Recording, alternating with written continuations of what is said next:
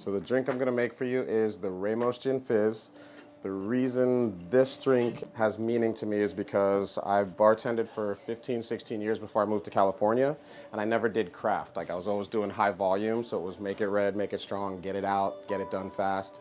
So um, two months before I moved out here to open up a little speakeasy style concept, I went to New Orleans and I experienced my first Ramos Gin Fizz, which I had never had before in my life.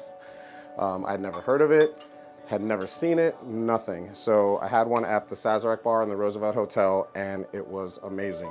When I moved out here, one of the first menus we did was for New Orleans and sure enough, we put the Ramos Gin Fizz on the menu since I just learned how to make it. I made it my goal to master it, or at least try to. I started getting good at it, making sure everything was settled right, making sure it looked good. And the very first writer that came in to do an interview with me, he asked me just make him whatever. So I said, all right, how about a Ramos Gin Fizz? And he, right away, I remember his reaction. It was just like, that's a bold move. And I was like, all right, here goes nothing. so I made him one, and he absolutely loved it. And then he decides to tell me a story about how his wife was just introduced to Ramos Gin Fizzes, and how she, um, her and her best friend absolutely love him. So he was going to send her in to see me. So then, like, it was probably two months later, these two ladies, I'm busy, I'm working in a little room by myself and it's full. And these two ladies walk into the back of the room. And I just remember looking up and said, I'll be right with you ladies. And then they kind of freaked me out because they were like, oh, no worries, like, we're so happy to be here. I'm like, okay, I don't know these women, like, I don't know who they are, but all right, cool. So then I walk up and they introduce themselves. She's like, hi, I'm Heather and Jill. And um, she's like, my husband sent me. And I'm like, oh, who's your husband? And she said, Rich Manning. So I'm like, oh, so you want a Ramos Gin Fizz? And both of their jaws dropped. They're just like, oh my God, how does, like, how does he know he remembered? Like, so they were mind blown by that. And then once I made them one, they were friends for life.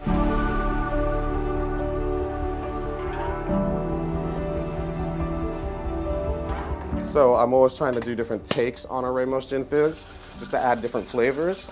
So this one is for Halloween that I'm doing this year for our menu. And it is the candy corn gin fizz. So I made an actual candy corn syrup. I just basically melted down candy corn so you get the candy corn flavor. Just add that to my lemon juice, lime juice, gin, heavy cream, and I put a little walnut bitters in there just for some extra flavor.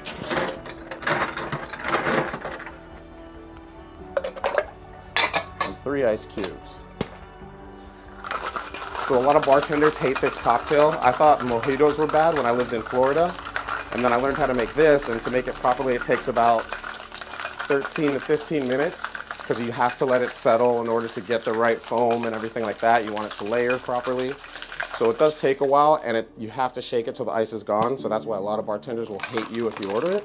But I like it because it gives me a chance to show off. So.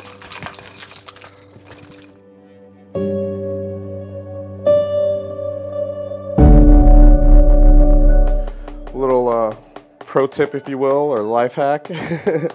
um, as a bartender, tapping it, what this does is it actually helps you just get that separation to help it settle a little more. But then also what it does is because the last part of the cocktail making technique is kind of a show, people really enjoy watching it.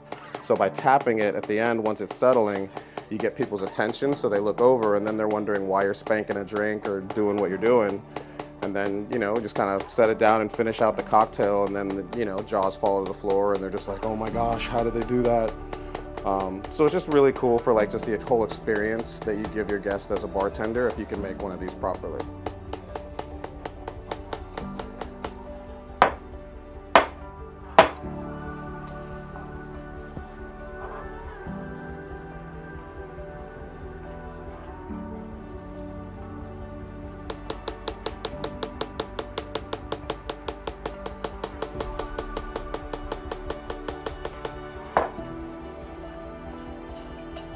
Stiff our foam is by garnishing it a little bit.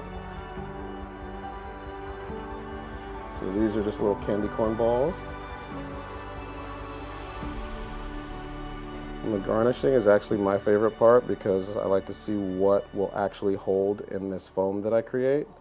So the heavier the things you can hold, it means the more uh, proper foam you have on there, It's a nice solid uh, consistency, so it gives a great texture and mouthfeel to the drink. It's like drinking a milkshake. All right, I think we're there. So I've got the nice clear line right here, very defined. So that's what I always look for. And usually the lower down it is, the higher you can go. so this is the fun part.